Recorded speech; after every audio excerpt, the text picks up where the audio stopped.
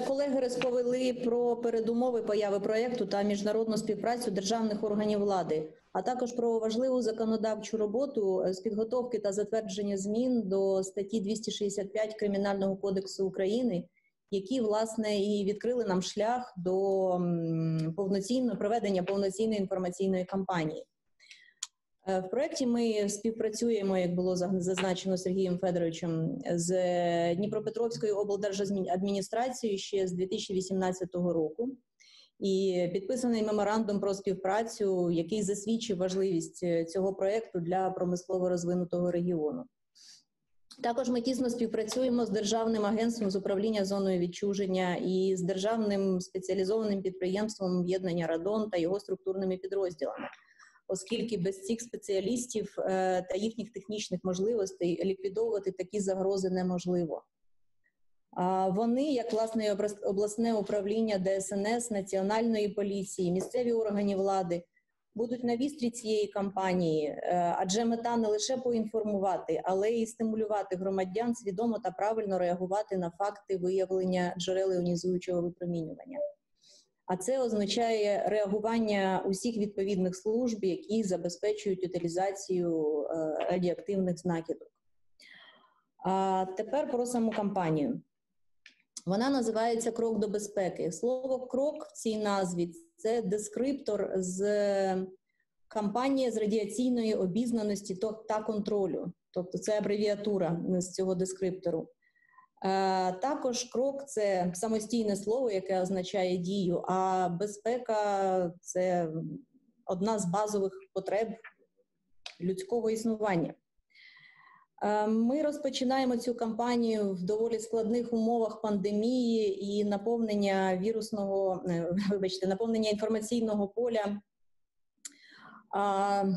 новинами про коронавірус, е, але ми не ставимо за мету привнести в життя громади області ще більше занепокоєння. Е, якраз навпаки, ми просто говоримо, що варто бути обачними. У випадку з радіоактивними знахідками, з радіоактивними матеріалами варто бути обачними. Від джерел іонізуючого випромінювання легко вберегтися, просто не контактуючи з ними. І цей вибір зробити набагато простіше, ніж увійти до переповненого магазину та стояти в черзі. Ем, ми будемо говорити громаді, що варто поінформувати спеціалістів, рятувальників, місцеві органи влади, і загроза буде ліквідована без шкоди людям. Е, тож, як ми це робитимемо?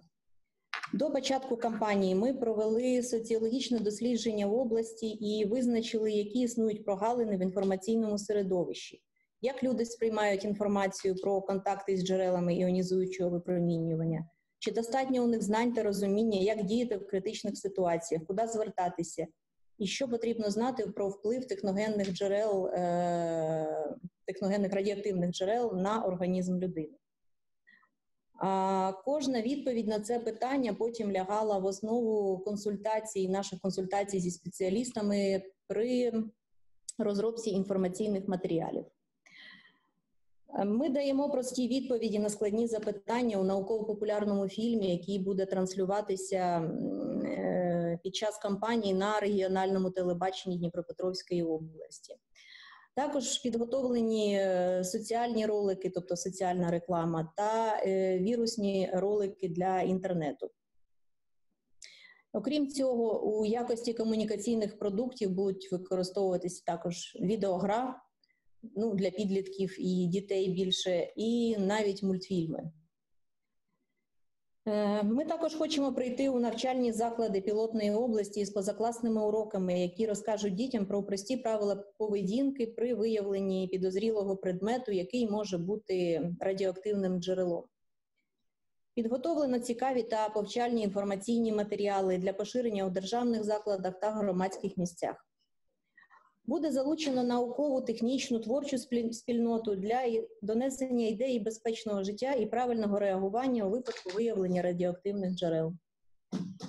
І віримо, що через рік, коли наш проєкт завершиться, У Дніпропетровській області переважна більшість мешканців будуть набагато більше обізнані щодо правил радіаційної безпеки та поводження із виявленими джерелами іонізуючого випромінювання.